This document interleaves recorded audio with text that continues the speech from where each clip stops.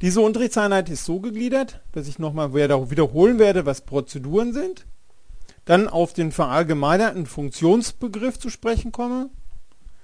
Dann gibt es einen Teil, wo das Parameterkonzept eingeführt wird, was die Benutzung von Funktionen sehr viel flexibler gestaltet. Dann werden wir uns nochmal den Begriffen von Gültigkeitsbereich und Lebensdauer widmen, im Umfeld von Variablen und im Umfeld von Funktionen. Zwischendurch werde ich auf die Begriffe globale und lokale Variable eingehen.